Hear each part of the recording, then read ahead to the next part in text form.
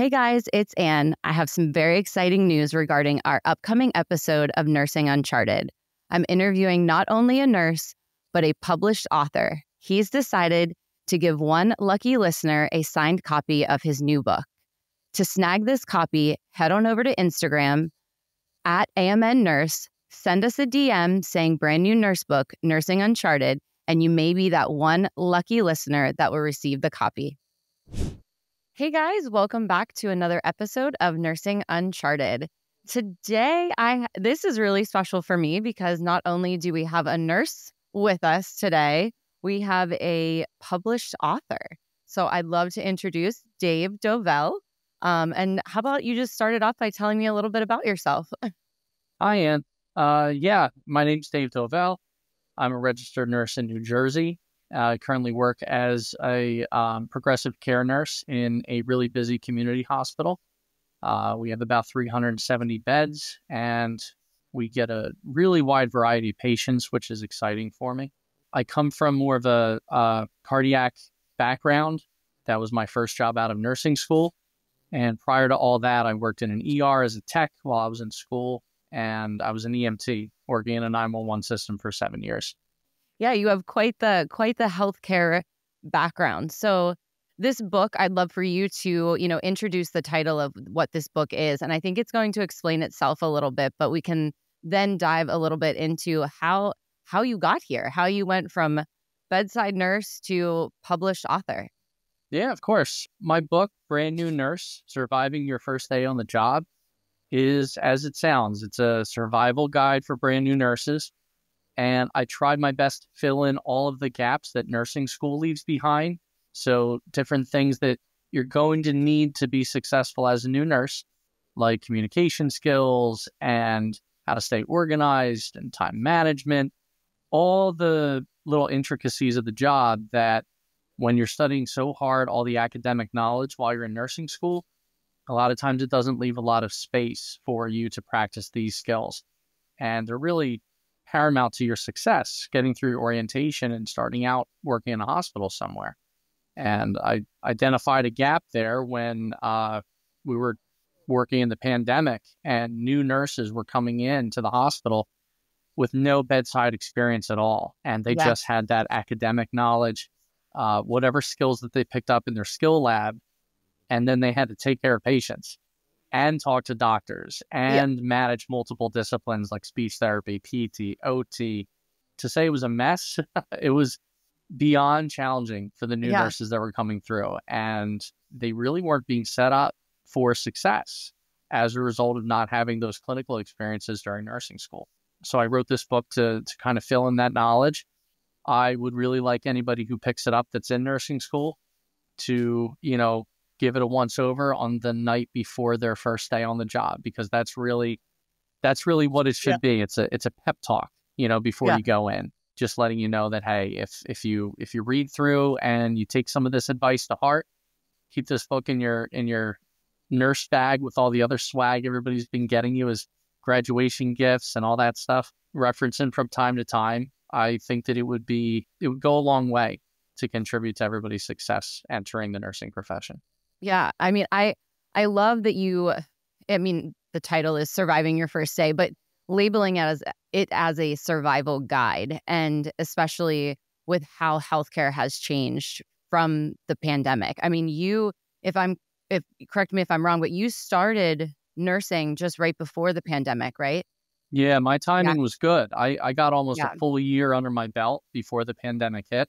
So it, it gave me, I, I had a great orientation period. I, I had amazing preceptors. I was mentored and I felt, I mean, you know, nursing is, is hard enough as it is and, and being new is so difficult. But I felt so much better prepared than the nurses that were coming in behind me that I was then in turn precepting. Right. Um, yeah. They, right they just, off the bat. They, they didn't have the benefit that I had. And especially if you take nurses, see, I, I came from that healthcare background then where I worked on the truck for a while. You know, I, I knew some basics and and how to talk to patients and how to handle right. patients. You know, those are sort of those those social skills, you know, outside of the realm of what are your lab values? What does this disease process mean? How do we treat, you know, this and that? It's it's all the other skills that are that are so difficult to learn. And at least if you come through and you have experience as a CNA or a tech or working in healthcare in any capacity, and then you come in, you have a little bit of that experience, you know. But I was taking people that went from bartending to having yeah. an assignment of six patients. Yeah. You know, the next well, week. bartending, you have a little bit of communication skills. I mean, that's part that's a big part of that job. But I sure, yeah, re- lots of parallels. Yeah, re- reflecting back on like my career is I didn't. I I'm so envious of even I worked two days ago. The girl that I worked with, she was the PCA, you know, the secretary, and she was starting nursing school in February. And it's like just the knowledge that she gained from watching nurses and the communication. And I've pushed on that in previous episodes, like the importance of that and how you don't learn that in school at all, you know, and then you're put on the put on the floor and you have to communicate like you said with everybody, not just the patient. And you know, I I wish I would have had that experience as, you know, a CNA or I I love that you have your like EMT param like the pre-hospital experience because that's a that's a really good prep for inpatient nursing. Yeah, it helps you appreciate too. Uh, you you understand, you know, other people's perspectives. You know, instead of just coming right out of nursing school and you either go to med surg or you go to critical care. You know, you're on this hospital unit and you really don't have much knowledge outside of your unit and and what you do on a day to day. You know, appreciating what it's like to work EMS. I mean, that's our scope might not have been very broad, but we're treating patients. I treated patients on the side of highways. Mm-hmm. I've treated patients in overturned minivans. I've treated patients on the side of their uh, of a burning house as their house burns down. There's so many environmental factors that are so different. So, so scope and and you know what we can do professionally and what our certifications might be is going to be different. But no matter where you work within the healthcare t- continuum, you are going to have very unique skill sets and challenges, and it's going to be totally different from everywhere else. You know, I commonly yeah. hear that now. It's it's uh, we have a lot of, especially on social media. There's a lot of critical care nurses that are kind of coming out and saying, you know, like we we need to stop talking down to our med surg nurses, our LTAC nurses, um, you know, our rehab nurses, because just because you're ICU and you might have unique certifications and training to handle really critically ill patients, I see it all the time on my unit. You know, an ICU nurse gets pulled to the PCU where their patient load doubles. Everybody can walk. Yeah. Even, you know, or or they shouldn't be walking, but they're trying to. Yeah. It's a totally unique experience. It's very challenging. Yeah. So we all have things that we're we're good at, you know, but um pre-hospital care, uh a unit secretary, unit coordinator, any kind of experience. And I, you know, anybody listening that's thinking about going into nursing school or you're in now, and you might have that restaurant job or you know a retail job, would really recommend if you can get somewhere in to where you're going to be talking to patients. Uh, yeah. That little bit of experience is going to go a long way. I, I agree. I, I really agree. And that's what I guess my point of my story that I went off on a tangent is just I, I wish I would have had some sort of medical background, you know, entering into the the nursing field. But I've been a nurse for a very long time. So when I started back in 2009, I had a phenomenal, you know, orientation. And, you know, I worked at a small community hospital and it's such a different vibe, like a community hospital versus like a, you know, level one trauma center, you know, main campuses.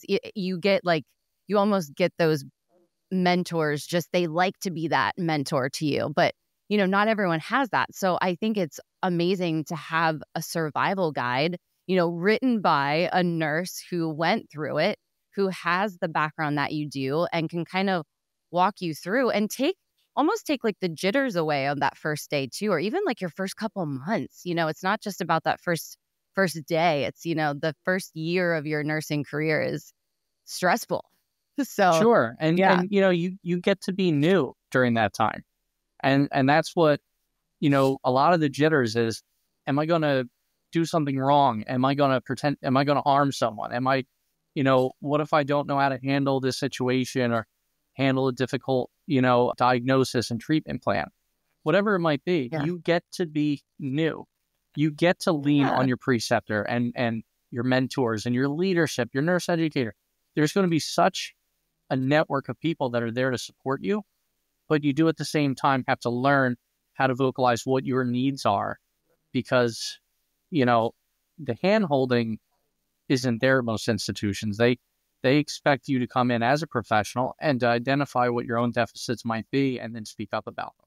Yeah, you have such great insight. I I I, I love this so much because it's it's just so relevant in our nursing field right now. Because even I know we, when we spoke the first time, uh, one of the key things were like cell phones. You know, right in nursing Yes. school, you were not allowed to have your cell phone. Like it was a no no.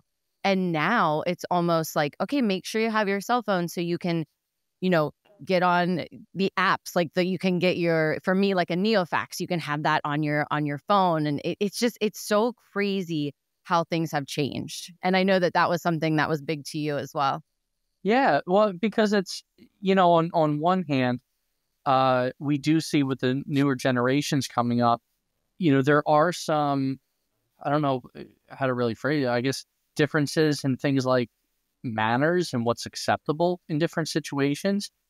And you know, when I am walking on my unit and we have a cohort of nursing students, if I see a lot of, if I see all these nursing students and they're all hovering around different desks and computers and taking up chairs and whatnot, and all of them are buried on their phones, right? That's there. There's an impression there. Yeah. and I definitely think I thought it when I was in nursing school, and I still believe it to be true. I think every single day that you are at a clinical, it's kind of a walking, working job interview. You need to have your best foot forward all the time. You know how many nurses our unit alone has hired out of the nursing student cohorts that have come through? oh really all the time. Our manager sits down with the nursing school instructors at the end oh. of each cohort when they come through and they have a roster of the students and they go through and they're like, This is this the one that, that helped out with that RT that time? Is this the one that ran and grabbed a piece of equipment from the other unit? Is this the one? And they put little stars next to certain names. And those lists sit in my assistant nurse manager's office or they sit somewhere else on the unit because we've seen firsthand. We don't have to go. You can interview well, and Yeah. then maybe not have the work ethic we're looking for. Right. But to really see somebody working, on the flip side of it, I don't know for sure if they cross names off the list right then and there. But I, if I were the manager, I I would. You know, or just I'd make a little there. Hey, is this the one that every time I see them, they're buried on their phone, or you know, they're yeah they're in the break room taking personal calls. While yes, it, it makes sense to use your phone. It's a, it's a wonderful piece of technology. I always call it my Yeah. class covered supercomputer, Yeah. mostly because my kids ask to play on it, and I say no, I say not Yeah. with my glass covered supercomputer. But it's amazing technology that we have, referencing medication information, referencing disease processes that we haven't heard of. It's so much faster than logging onto the work computer sometimes but using it responsibly, even when you're a nursing student coming on. I mean, Yeah. you really, I so one thing I like to I like to tell people to do. I say, really, sometimes optics and impressions are everything. Verbalize what you're doing on your phone. That really helps. I think that that Yeah. goes a long way. If you can take your phone and you say, all right, well, I'm going to look up that medication because I'm not sure what it is or if it's contraindicated with something else that the patient's getting. At least now I know why you're on your phone. But if every time I turn around and I'm explaining, I'm taking my time to teach you, every time I turn around and you're on your phone, I'm not assuming right away that it's to look up things that I'm talking about. Yeah. I like how I I I really like this hospital, like and how the manager does that. And I think that's really important for nursing students to understand. And, you know, at my uh, staff job, I'm I'm traveling right now, but I have a per diem staff job. We get a lot of students through, and it's it's kind of fun because you know sometimes nurses don't want students because it's a pain. We don't want to have to like teach, but I like to teach people, and I like to I I get excitement from their excitement for learning something new. Um, and it's so interesting that you'll have people who are just ready and like taking notes, and I'm just like, oh my gosh, you're gonna be such an amazing nurse because you care like they care they want to Uh-huh. be they want to be good they want to know what everything that they can because they want to be successful and then you have others that don't necessarily do that are kind of annoyed just want to do the bare minimum so i think it's especially in the hospital that you that you work at, that you hire a lot of nursing students that come through that program. That's brilliant to keep notes. And I think it's important and should scare some nursing students to be like, this you're being watched and it's important because I I didn't feel that way in nursing school because I was like, I'm never gonna work, you know, in this part of the state that I was living in. But it's it's good practice, if anything, even if you don't see yourself working there, it's good practice to have the that interview. Well, listen, you know, two things. One, doesn't matter what part of the state that you're going to your clinicals in, because someone at that hospital knows someone worked, will work, or is best friends with somebody that works wherever you're applying. I That's very true. You. I Yeah. promise you. I have an entire chapter in my book dedicated to building your professional reputation. And it, it starts with the cell phone use, but it goes on to how you present yourself. It's your it's everything from your body language. Are you leaning? Are you sitting every chance you get? Or are you on the heels of your preceptor, taking every learning opportunity possible? It doesn't mean that you're a brown nose and you go in and, and you go out of your way to try and, you know, shine in front of leadership or something. right. But do you actually present yourself as the kind of nurse that leadership is going to notice organically? Or are they just going to, you know, spot you doing something and then have you in mind for different promoted positions? You know, jump you up to charge nurse, jump you up if an opportunity comes up somewhere else that you want. So, so putting your best foot forward, no matter where you are, people move around from hospital to hospital. And I can't tell you how many times I currently work with I work about a 35 minute drive from my first hospital. So it's a, it's a little bit of distance, you know, in New Jersey, everything is a 30 minute drive, it seems, but, um, countless people that I used to work with have now come over to work with me at this hospital. So if I had an absolute trash reputation over there for being Yeah. lazy, for being insubordinate, for not taking care of my patients well at all, that would have definitely followed me. I mean, that people talk, you Yeah. know, whether we say we don't.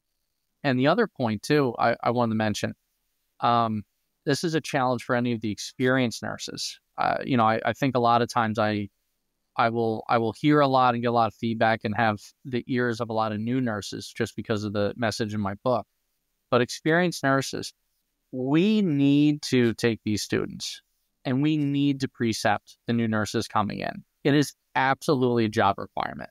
And if we want to take those vacation days, if we want to have somebody to cover us, if Yeah. we want to have somebody to cover our lunch, you Yeah. know, whatever it might be, if we want to move forward in our careers, maybe, you know, if, if you want to be a bedside nurse and take care of patients and things like that forever, I think that that's incredible. And, and, you know, but a lot of people I talk to, they got their sights sets on education or leadership.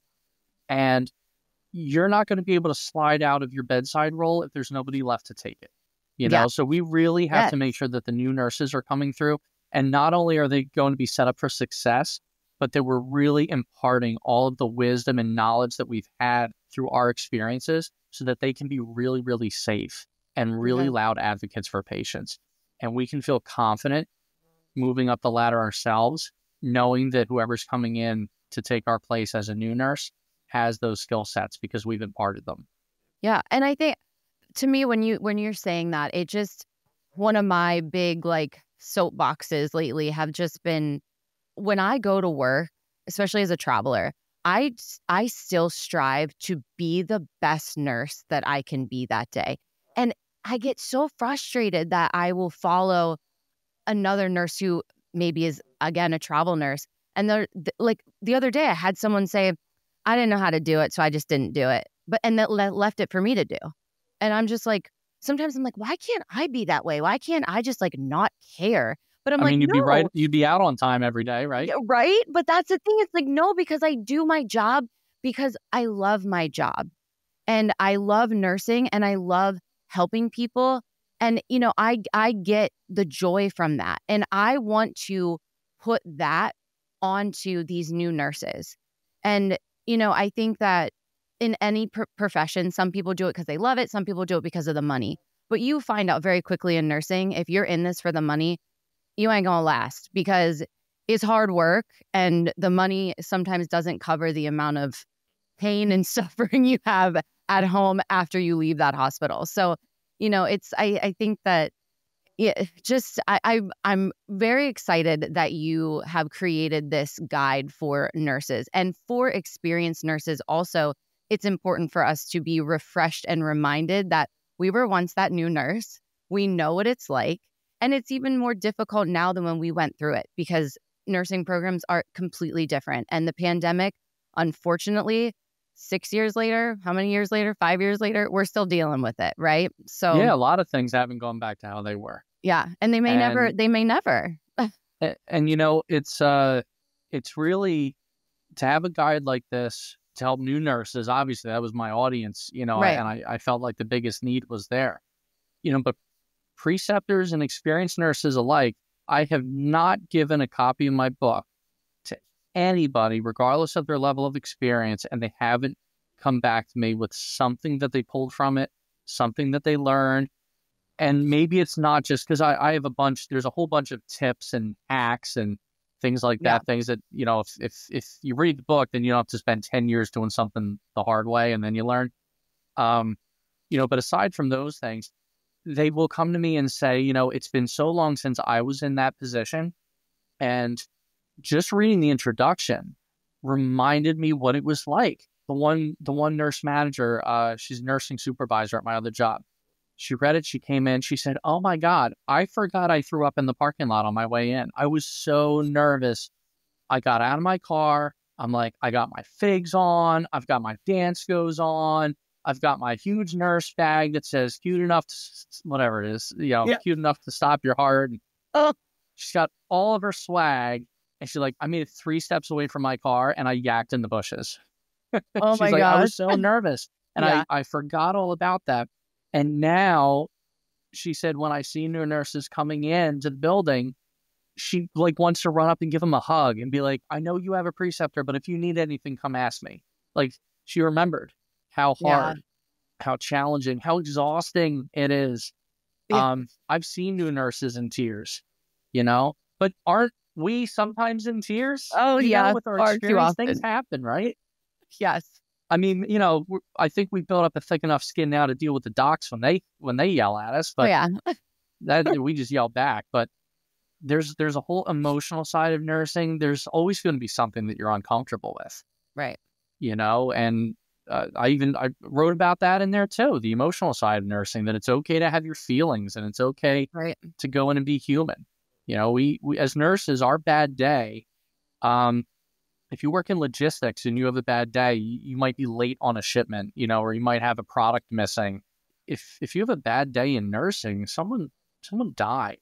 Yeah. You know, someone lost their life, and we have to absorb that in a way that's healthy for us and then turn around and take care of the rest of our patients like five minutes later. Oh yeah, and like hide it from them, you know. And yeah, that, yeah, I. They don't need to. So when somebody's banging on their call light on the bedside table because you haven't brought their turkey sandwich and the ginger ale in the last fifteen minutes, yeah, but you just wrapped up a code that didn't go well. Yeah.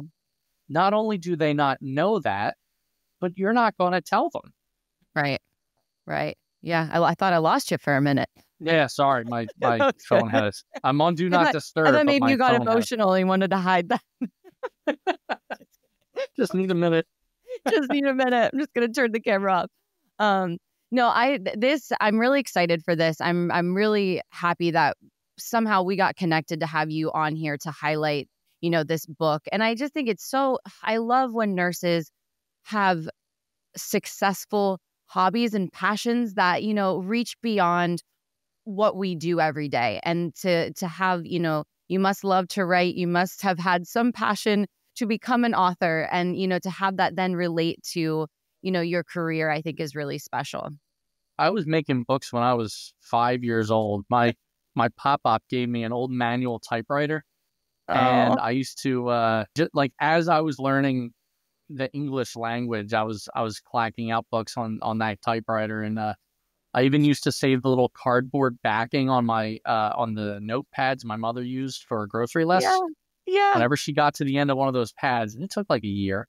Yeah. I would get to have that little piece of cardboard, and that was my cover for my books. I'd staple that ah. on. That was the hard cover. See, So and and you made it happen through nursing. Yeah. So it it took a long time to figure out what I was going to write about, you know. But yeah, when I when I saw the need there, you know, it, it started out with a couple of nurses I precepted. They said, you know, this is really good advice. You know, you, you should uh, you should write a book or you should have should have a podcast or something to kind of get Yeah. the word out.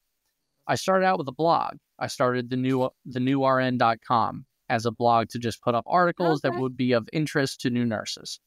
And then there was so much material to cover it it was kind of clunky to put it all together in blog articles so i just started tying it together and then you know the book kind of uh, started out as an outline and then it got flushed out to a bigger outline and bigger and bigger until i was ready to print the thing yeah. Well, that's uh, it's very exciting. Do you do you feel that there may be a book in the future? yeah yeah I, once all my kids can dress themselves bathe themselves feed themselves and you know if the sales of this one get so great that i can hire a housekeeper then i'll i'll Yeah. have the time to sit down and Well, I'm Um, telling you, you telling me about this book really, I, I wish I had it, and I'm I'm excited to recommend this. You know, I I there's so many people that I'm just like I'm going to tell them to get this book. Like this is so important to to have and just have the insight from someone who experienced it and just here's how to help you. I think that that's that's wonderful. So I mean, I- you had me on your show, and for 30 minutes, you've been complimenting me. You're definitely going to get a copy. I'm going to send one out to you. yeah, well, thanks. But- well, thanks. But yeah, it's, uh, you know, the idea has been put in my head to have uh, a few, you know, sort of like spin offs of this that Yeah. cover different different parts of the nursing career, you know, whether it's a, a nursing student or um, uh, like a brand new, like preparing for NCLEX, sitting for job interviews kind of thing. I think a lot of the knowledge there is missing too, because again, Yeah. nursing schools have so much knowledge to impart, and most of them are running either a two year program Yeah, um, or they're running accelerated. right. You know, so see a it's lot so of that now. difficult to. I don't know how you how you teach somebody everything they need to know. So they are they're relying on preceptors. They're relying on outside. yeah, they're they're Yeah. relying on outside sources. You know, those uh, those big YouTube channels Mhm. um, that have you know tens of millions of subscribers, and they're relying on that, and maybe my book a little bit to supplement what they're able to teach in the classroom and and in Yeah. the clinical setting. Yeah. So Hey, that that's it's the new face of nursing school. It yeah, is. yeah. It. I mean, it- That that's just it. We gotta um, you know, my goal isn't to uh I'm still gonna be a nurse. I'm not gonna yeah. sail around on my yacht retired because of, you know, millions in book sales. Yeah. Um You never know. I don't know. Yeah, maybe. Maybe the next time I'm stuck in the code brown or something, I might change my mind. I don't know. Right. But the sales aren't there yet anyway. Yeah. Um, you know, but but really more than anything, I, I just I want to see copies in the hands of new nurses because I truly believe it's going to really benefit. And all the feedback I've gotten, um, you know, I, I almost have a it's got a perfect almost a perfect rating on Amazon. It's like four point nine Yay. stars. And I've just been so, you know, lucky and, and grateful to see, you know, that kind of feedback. Um, it just tells me that what I put on paper is, is that beneficial to everybody, you know, that they're Yeah. getting so much from it. Well, everyone listening to this should run out and and get a copy before it sells out. Yes. yeah. Right. Um, While so supplies last. yeah. Okay. So to to wrap this up, I would love to hear like what is your biggest what is your biggest takeaway for someone's first day? Like what out of everything you've written down, what is the one thing that just you just can't you just hold on to?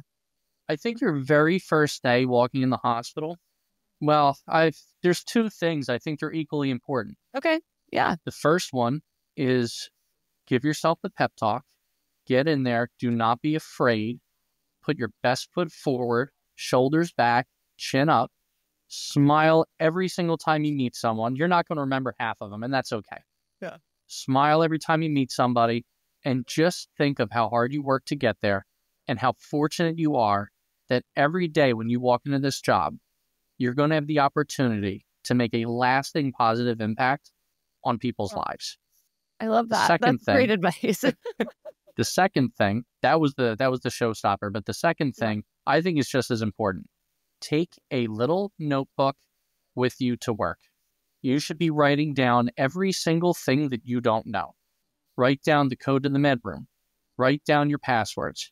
Write down your preceptor's name mm. because that'll be awkward the next time you're in and you forget. Write down your leadership name. Everybody on your leadership team, know who your educator is. If they're explaining a patient to you and they say this patient is status post CABG times three, if you're thinking that's a vegetable, write it down and look it up when you go home. You do not get to just go into your first couple of days of the job and then clock out at the end and work is over. Yeah. You should be familiarizing yourself with everything that there is so that you really get your feet under you. When you're learning, you have so much to learn that any gaps in your academic and didactic knowledge, you should really take ownership of. So you should write all these things down that you don't know. If you don't know what labs to check before giving diuretics, write it down. All of those things. And this notebook, yeah. you should have this thing filled within two or three days. Yeah. So have that. If you come in with your pockets practically empty and you have no notebook or no cards, way to write things down that you don't know, you're not going to be setting yourself up to go home and YouTube these things and look things up so that you can come back in with that knowledge. You know, nurse, you can't fake it till you make it in nursing. That's how people get hurt. Okay. Yes. Yes. So to avoid constantly saying, I don't know, I don't know, when you're in week three, four, and five, and you've been exposed to things, the expectation will be there that you have taken it upon yourself to learn what you didn't know. Yeah, that's great advice, Dave. I'm I'm so happy that I met you and that we crossed paths and I'm so excited for people to listen to this episode and even more excited for them to go out and grab a copy of your book. Yeah, it's it, it yeah. couldn't be easier to get. It's right on Amazon. Perfect. Um, it's it's available through Amazon Prime and all that. Uh, it makes an excellent gift for anybody that you know is going through nursing school um, and you know, family member, loved one. But like I said, even if you're a preceptor or a more experienced nurse, putting yourself back in the shoes of a brand new nurse going through those jitters, you're not able to sleep that night. I think it's invaluable because uh, if you're precepting, you probably want to be as supportive as you can to the new nurses. So being in that mindset, especially if it's been, you know, almost a decade or longer since you've been in that position yourself, I think that that's an invaluable way that you can help those nurses and support them by understanding what they're going through that day. Yeah, I think it's for everyone. I do. Yeah. Well, thank you so much. I'm excited to get this out there and have people listen. And I know this is going to definitely help a lot of new nurses out there. I appreciate you having me on the show. It was a blast. I, it, it was, was great meeting you guys. And, uh, you know, I, I look forward to listening to this episode anybody who's not listening to your podcast is is missing out. So if this is the first episode that you're jumping on and listening to, yeah. whether it's because I linked out to it or you know or you came across it, you need to go back like I did when I was doing my research as a guest and listen to some of the other episodes. The, well, the knowledge is you. incredible and the stories you hear. Yeah. Thank you. Thank you.